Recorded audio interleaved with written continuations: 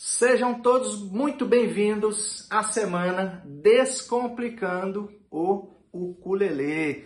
Eu sou o Peterson e eu ensino pessoas comuns a tocar suas músicas favoritas no ukulele com apenas 10 minutos de treino por dia. E nessa semana você vai aprender que é possível você também tocar suas músicas no ukulele. Mesmo que você já tenha tentado tocar um outro instrumento musical e não conseguiu, ou vai começar do absoluto zero. E eu vou te mostrar agora um vídeo do Milton e da Regina que começaram comigo dia 8 de setembro de 2022. E 20 dias após a gente começar, eles já estão tocando as músicas deles.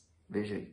Um, dois, três, quatro, cinco, seis, sete, oito. Arrasta para cá, segunda casa e aqui. Um, dois, três, quatro, cinco, seis, sete, oito. dois, três,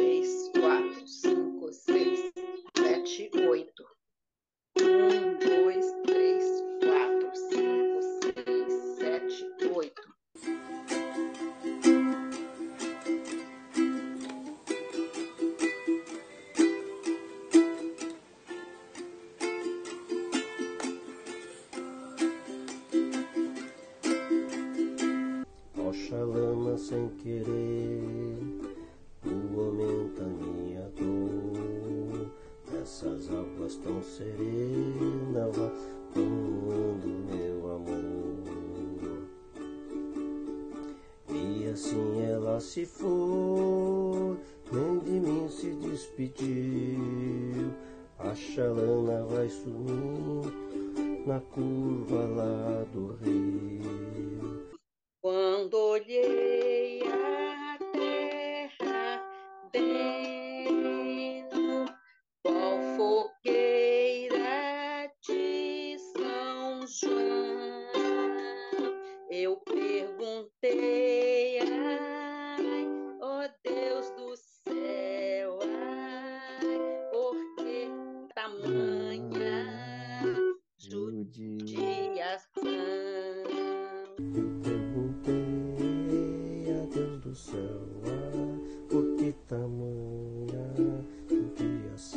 Ninguém podia dormir na rede,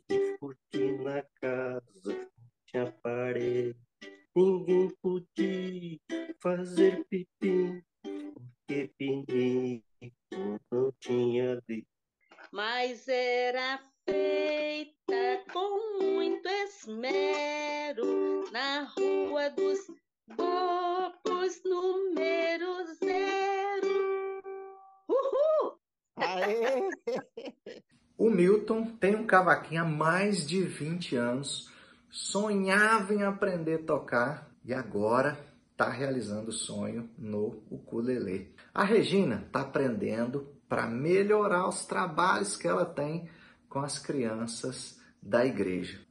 E eu sei que você está aí do outro lado pensando que é impossível você também aprender a tocar suas músicas favoritas no ukulele com apenas 10 minutos de treino por dia. Mas eu vou te contar como que eu descobri isso. Eu amo música e realmente não sei explicar o porquê. E se você está aqui, eu sei que você também gosta. Meu pai teve uma dupla sertaneja e na minha casa sempre teve um violãozinho no canto da sala.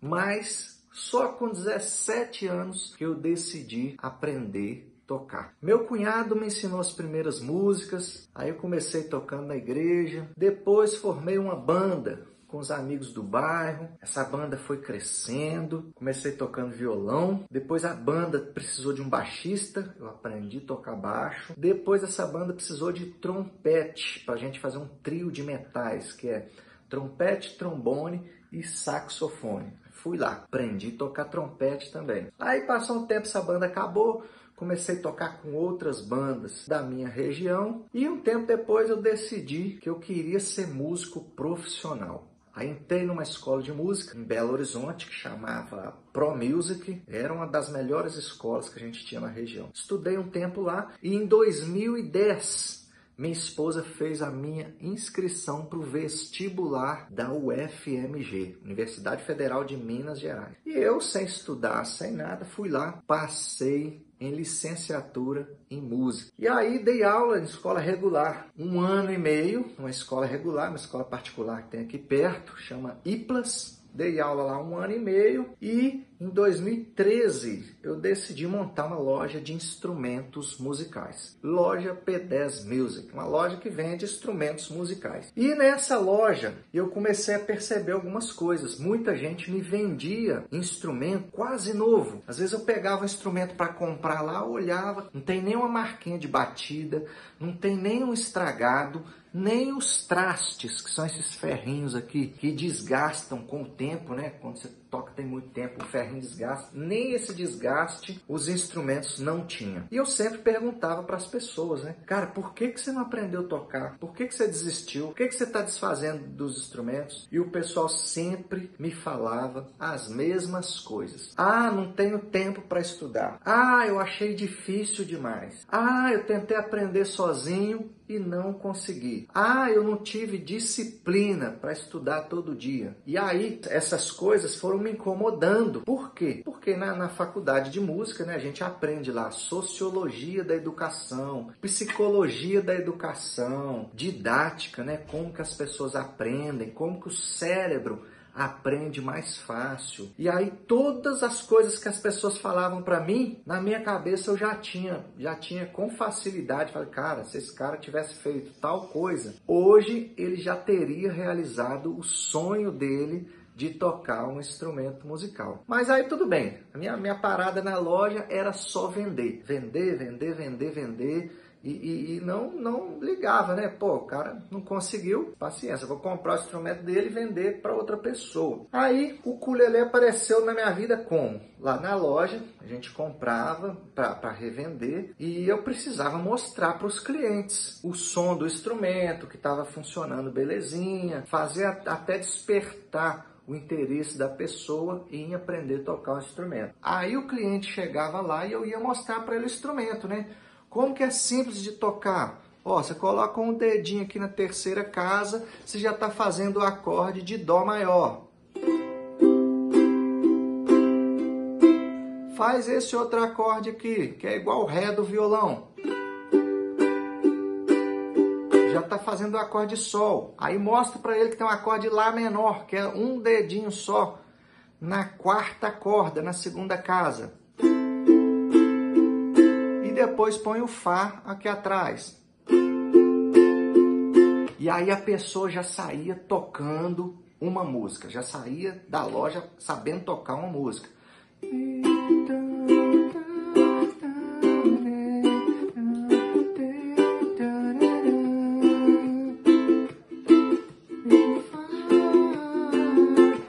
Saía feliz, já saía tocando uma música e beleza. Mas aí, lembra lá atrás que eu falei que eu estudei na Pro Music? Quando eu estudava na Pro Music, tinha um rapaz lá que ele aprendeu falar inglês, cantar inglês, só traduzindo rap norte-americano. Aí foi até um gringo dar uma palestra lá uma vez, ele que foi o intérprete, né, o tradutor. E o gringo até perguntou para ele, falei, cara, você é lá do Brooklyn, lá do subúrbio dos Estados Unidos, de onde que você veio? Aí o cara explicou para ele a história, né? Não, cara, eu aprendi inglês só traduzindo música, só cantando rap. E aquilo ficou na minha cabeça, né? Aí um tempo atrás eu botei na minha cabeça, cara, eu vou aprender inglês também, só que é inglês com música. Vou começar a traduzir as músicas, cantar a música em inglês para eu aprender inglês. Só que aconteceu uma coisa, eu escolhi o ukulele para me acompanhar nessa jornada. E o que que acontecia? Eu começava a pegar a música, né? When I find myself in times of trouble Mother Mary comes to me, speaking words of wisdom. Let it be, let it be, let it be, let it be. Essa é a música dos Beatles, Let It Be. Então, é uma das primeiras que eu comecei a estudar inglês. Só que acontecia o quê?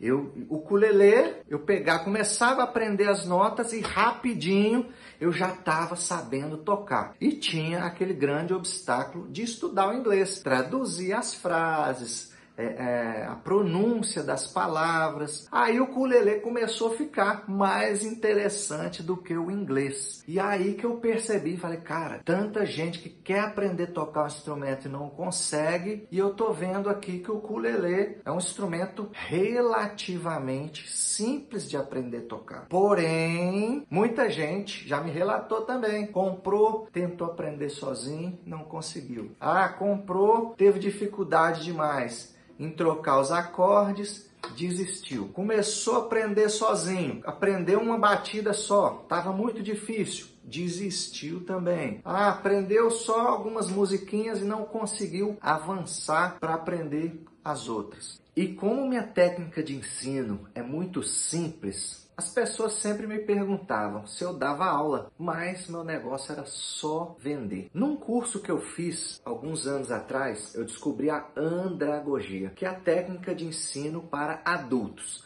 Tem a pedagogia, que é para criança, e tem a andragogia, que é para adultos. E foi a peça que faltava para o meu quebra-cabeça. Aí sim, a ficha caiu, que eu poderia ensinar qualquer pessoa tocar suas músicas favoritas no ukulele com apenas 10 minutos de treino por dia. Juntei com as demais técnicas que eu já usava e o resultado foi muito além do que eu esperava. Eu tinha previsto 60 dias, mas o Milton e a Regina comprovaram que em menos de 30 dias eles já estão tocando as suas músicas no ukulele. Eu vou te mostrar agora o mapa que eu uso para fazer você tocar mais rápido, mais fácil e mais seguro. Mas antes, eu quero te fazer uma pergunta. Como que você faz para comer um elefante inteiro? É isso mesmo. Pensa um pouquinho e me fala. Como é possível você comer um elefante inteiro? Parece impossível, né? Mas é simples. Como que é? Você vai fatiar um pedaço e comer um pedaço a cada dia. É isso mesmo. Depois que eu aprendi essa técnica de dividir as grandes tarefas em pequenos pedaços diários, não tem nada mais difícil para mim. Se alguma coisa está difícil demais, é porque eu treinei pouco ou ainda não amadureci naquela tarefa. Voltando para o mapa. Primeiro ponto, aprendizado simples. Por que, que o aprendizado é simples? Porque eu descompliquei cada passo das habilidades que você precisa desenvolver. Segundo ponto, mais rápido. Por que, que é mais rápido? Porque você não precisa ficar na internet procurando coisa para você estudar e perdendo horas do seu dia. Terceiro ponto, mais seguro. Por que, que é mais seguro? Porque se você for fazer isso por conta própria, provavelmente você vai acabar se desviando da sua rota e acabar abandonando o seu sonho de tocar suas músicas favoritas no ukulele. E tem três habilidades que você vai precisar desenvolver nessa jornada. Primeira habilidade, mão direita, que é a responsável pelo ritmo. Pelos dedilhados. Segunda habilidade que você precisa desenvolver, mão esquerda, que é a responsável pela montagem dos acordes. Então, essa troca de acordes, você precisa desenvolver essa habilidade de fazer os acordes para que a música aconteça. E a terceira habilidade que você precisa é juntar essas duas coisas. Mão direita com mão esquerda. Para quê? Para fazer música. Seja para usar na aula com seus alunos, seja para tocar na igreja, seja para tocar na reunião de família e tem muita gente que vai usar isso como terapia. Em 2012, na UFG, Universidade Federal de Goiás, pesquisadores utilizaram a música e tiveram ótimos resultados no enfrentamento ao estresse, na redução do nível de ansiedade, no fortalecimento da autoestima, na organização do tempo, na definição de metas de vida e melhoria nas relações interpessoais. Olha, para falar a verdade, não tem nada melhor do que a gente fazer aquilo que a gente gosta, né? Então essa foi a aula de hoje. Vamos recapitular tudo que você já aprendeu até aqui. Primeiro, você viu que o Milton e a Regina em menos de 30 dias já estão tocando as suas músicas favoritas no ukulele. Segundo, você aprendeu que o ukulele pode ser usado na sala de aula, na roda de amigos, na igreja e pode também ser usado como terapia. Terceiro, aprendeu os principais motivos que fazem uma pessoa desistir de aprender a tocar suas músicas favoritas. Quatro, aprendeu a técnica de comer um elefante inteiro, que é dividir as grandes tarefas em pequenos passos mais simples e mais fáceis. 5. A galera da pedagogia aprendeu também sobre a andragogia, que é a técnica de ensino para adultos. 6. Conheceu o mapa que eu uso e que faz você tocar mais rápido, mais fácil e mais seguro. 7. E ainda aprendeu as três principais habilidades motoras que você precisa para fazer música. E no segundo episódio dessa série, você vai aprender sobre os tamanhos que existem de ukulele vai aprender sobre afinação e eu vou revelar duas ferramentas poderosas que facilitam o seu aprendizado. E ainda vou te ensinar a tocar uma música em menos de 10 minutos. E se você quer me perguntar alguma coisa ou quer me mandar um vídeo de você tocando para eu te ajudar em algo, eu vou deixar aqui em algum lugar dessa página um botão que você vai clicar e vai me chamar direto no zap. Porque amanhã eu quero passar uma boa parte do dia conversando com você. E lembrando que quarta-feira sai o segundo episódio dessa série Descomplicando o Ukulele. Tchau para vocês. Fui!